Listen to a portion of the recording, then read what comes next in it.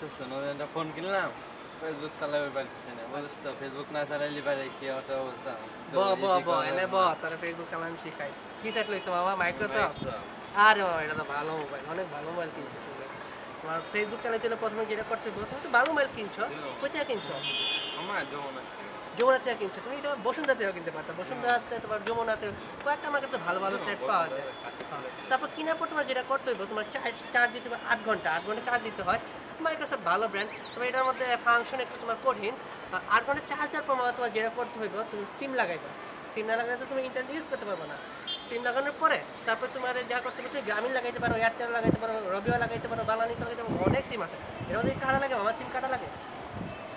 তুমি সিম কাটছো আচ্ছা এটার মধ্যে যখন তোমার সিম কাটা লাগে, তুমি সিম কাটবা কাইটা তারপর ঢুকাইবা আর যদি কাটা না লাগে, তাহলে আস্তাটা ঢুকাই দিবা। মানে কাইটা ঢুকাইলে আমার মনে হয় যে ভেজালটা বেশি, বুঝছ মা তারপর তুমি যা করবা, তোমার মোবাইলটা ওপেন করবা ওপেন করে তোমার সব কিছু বুঝতে হইব।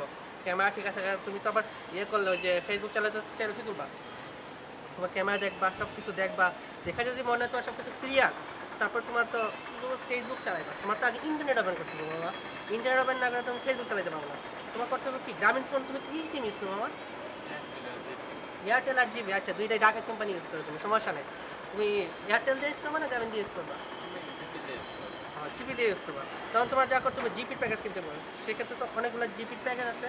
তো তুমি কি করবা? তুমি ফোন দিয়ে জিপির প্যাকেজটা জেনে নিবা তারপরে তুমি ইন্টারনেট ইউজ করা শুরু করবা। এটা কোনো ব্যাপার না। ইন্টারনেট ইউজ করলে ফেসবুক এমনি ইউজ করতে পারো। নাও নাও ফেসবুক চালাইও। ও কি শালা যে গেলাম কি বগর বগর করে গেল। আল্লাহর পহালা কিছু বুঝে না আরেকজনের ডিস্টার্ব করে।